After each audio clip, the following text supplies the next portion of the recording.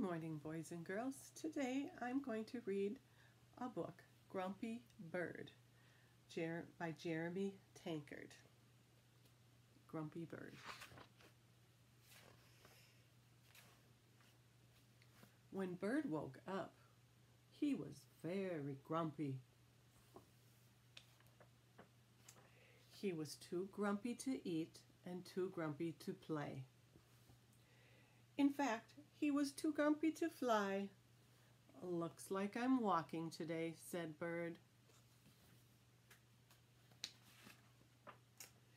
Bird walked past Sheep. Good morning, Bird, said Sheep. What are you doing? Walking, said Bird. Nice, said Sheep. I will keep you company. Bird walked past Rabbit. What are you doing? said Rabbit. I'm walking, said Bird. It's no fun. I could use some exercise, said Rabbit. I'll walk too. Next, Bird walked past Raccoon. Hey, Bird, said Raccoon. What are you doing? I'm walking, snapped Bird. What does it look like? It looks like fun, said Raccoon. I'm coming too. Bird walked past Beaver. Hello, Bird, said Beaver. What are you doing? Let me give you a hint, said Bird. You do it by placing one foot in front of the other. Walking, guessed Beaver. I love walking. Bird walked past Fox.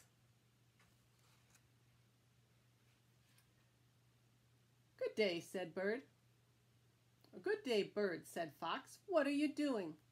Why does everyone want to know what I'm doing, shouted Bird. I'm just walking, okay? Okay, said Fox. Let's go. Bird walked. The other animals walked.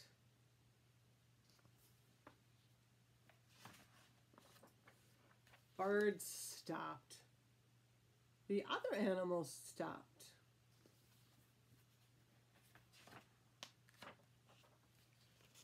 Bird stood on one leg. The other animals stood on one leg.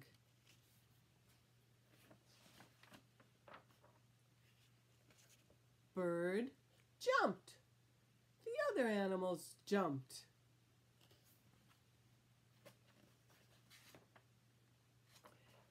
Hey, this is fun, said Bird.